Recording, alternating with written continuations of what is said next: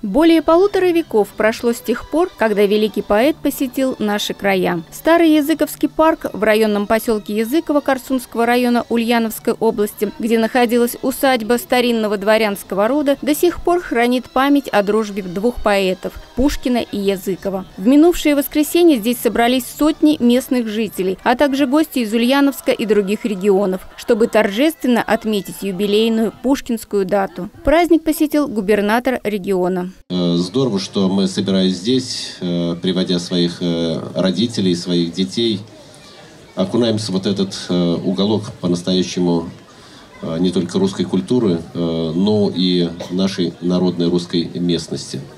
Я искренне горжусь тем, что мы здесь не только собираемся и общаемся, но и тем, что у нас здесь в процессе нашего общения появляются замечательные проекты.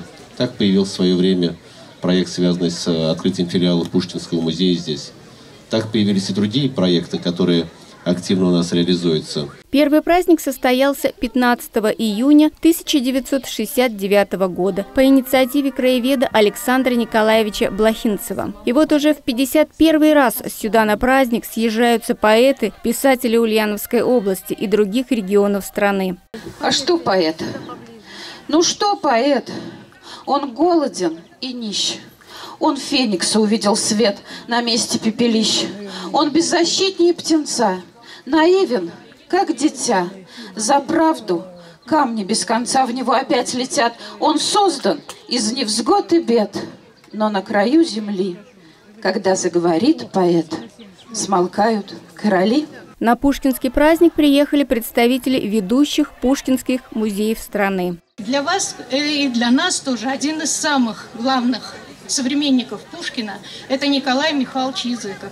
И вот в нашем Пушкинском музее хранятся не только его графические портреты, они в экспозиции, потому что в рассказе обязательно идет э, в рассказе о Пушкине идет рассказ и о его связи и дружбе с Николаем Михайловичем Языковым.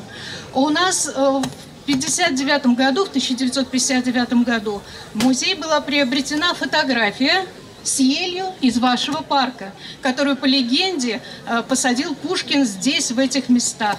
И она входит в основной фонд нашего музея. На празднике также состоялось подведение итогов 14-го открытого межрегионального литературного молодежного конкурса «Друзья по вдохновению», в котором приняли участие молодые литераторы из России и Республики Беларусь. Интересные стихи прислали в этом году ребята из Беларуси.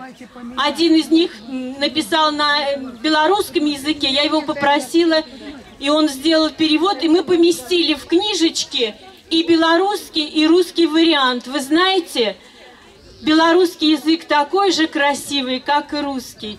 Государственный ансамбль песни и танца «Волга» подготовил специальную театрализованную концертную программу под сенью Пушкина. Выступление солистов и хореографической группы стало настоящим подарком для всех гостей. Для самых маленьких прошла детская программа, в рамках которой можно было научиться играть в городки и лапту, походить на ходулях, сделать куклу своими руками и даже стать героем любимой сказки. По традиции гостям праздника были предложены экскурсии по территории усадебного парка и музейной экспозиции, а также квест «Тропой великого поэта». Ирина Антонова, новости Улправды ТВ.